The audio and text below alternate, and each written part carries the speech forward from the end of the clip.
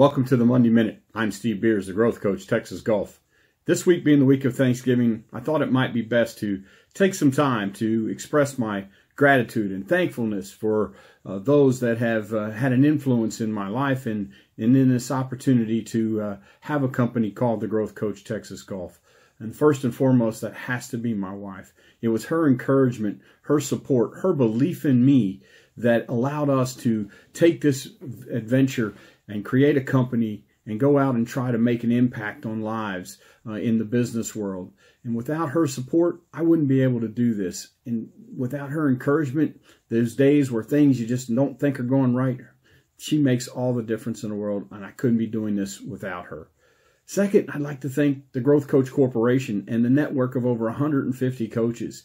They have helped in so many ways in getting this company up off the ground and being able to make an impact in people's lives and helping people and their support and knowledge and just the content that they help provide, whether it be from corporate or from another coach, the sharing that goes on within our organization is just incredible. So you're not getting just one growth coach, you're getting an entire network of growth coaches when you work with a growth coach.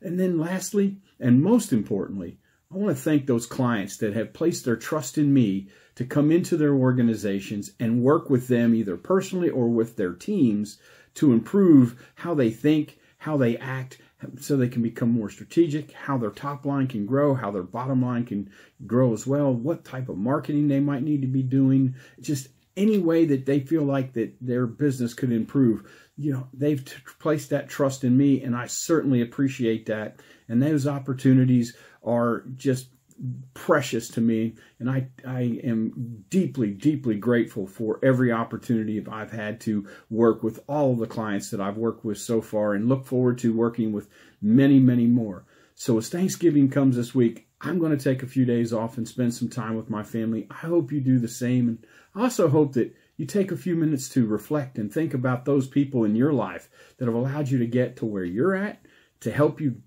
continue to succeed and maybe it's time to pay a little thanks and gratitude to those folks in our lives. Thanks for listening. We'll be back next week. I'm Steve Beers, the Growth Coach, Texas Gulf.